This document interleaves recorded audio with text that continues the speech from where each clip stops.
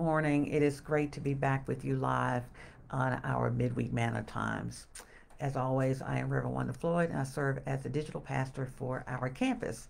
And, you know, I believe that our campus exists uh, for engagement, for connection, and for fellowship.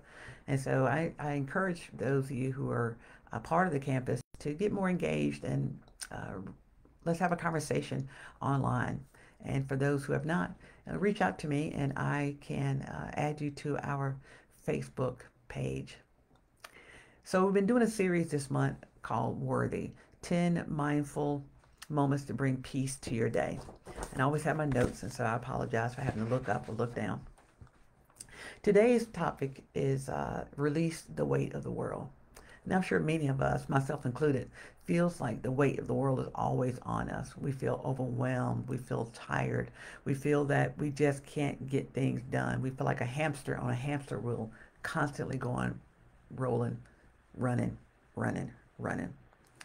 But the reality is that, you know, the weight of the world is not for us to carry, it's for God to carry. We're only responsible for the pieces that we have control over, the things that we need to hold on to.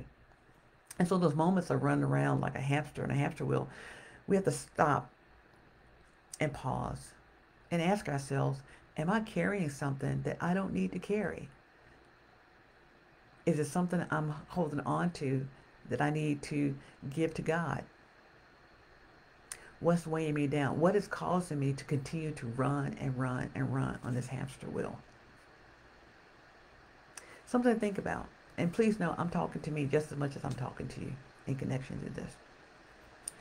So let's challenge each other. Let's challenge, I'm going to challenge myself and I challenge you to release the weight of the world because that job belongs to God and not to us.